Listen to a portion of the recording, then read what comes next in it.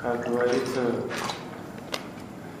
один игрок на поле – это не воин, а во-вторых, отсутствие Мингазова – это не говорит о том, что мы должны просто сдаваться и перестать играть. Есть которые э, игроки готовы показать себя, ждут этого шанса.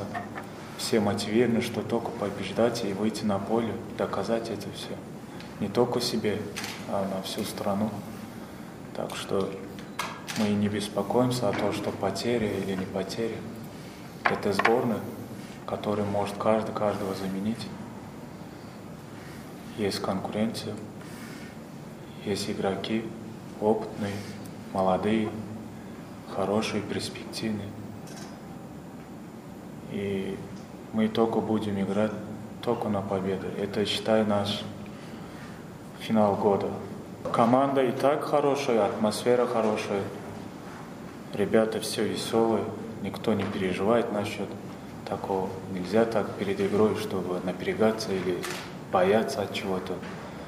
Надо выходить, играть свой футбол, а дальше только пожелать удачи, верить в удачу.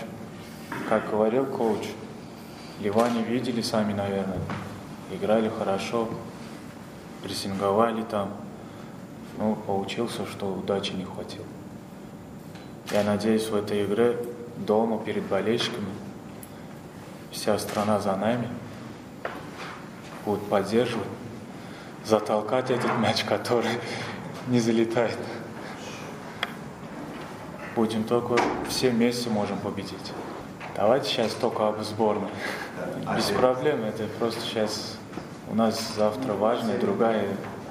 Да, спасибо. спасибо.